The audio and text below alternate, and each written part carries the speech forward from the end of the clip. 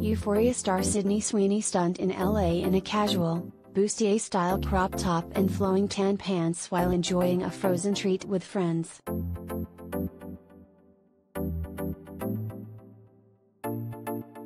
Starring as the sweet but misled Cassie on HBO's runaway hit show Euphoria, actress Sydney Sweeney, 24, has been stealing hearts on screen each Sunday.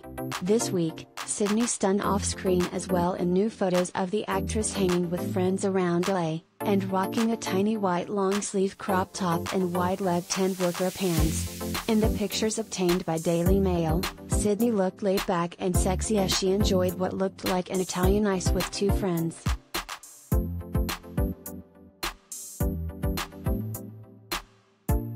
In the photos, Sydney looked happy, sexy, and relaxed in a bustier style white crop top, which perfectly complemented the baggy fit of her high-waisted tan pants.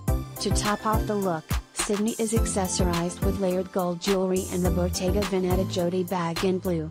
After strolling the sidewalk with a frozen snack alongside her friends, Sydney had a stars, there just like us moment when she stopped at the pump to fill her beloved Ford Mustang convertible with gas.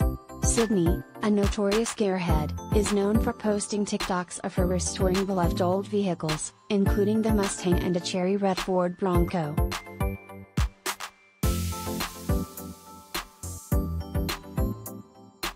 Before season 2 of Euphoria premiered on January 9, Sydney opened up exclusively to Hollywood Life about the second season of HBO's most watched drama, which she revealed would be crazy good. So far, her assessment has been proven true, and Cassie specifically has seen an arc this season fans are deeming Emmy worthy.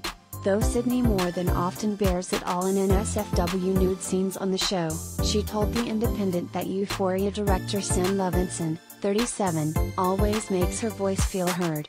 There are moments where, my character, Cassie was supposed to be shirtless and I would tell Sam, I don't really think that's necessary here, she said. He was like, okay, we don't need it. She continued, I've never felt like Sam has pushed it on me.